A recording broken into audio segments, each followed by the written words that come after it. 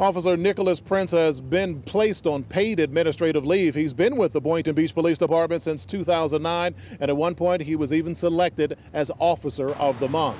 But his problems reportedly began on Saturday night here at Kokomo's Island Grill in Loxahatchee. Police say while he was off duty, Prince drove his marked vehicle and he's accused of driving under the influence of alcohol. According to published reports, Prince got into a verbal argument with the owner and was seen leaving in the police truck.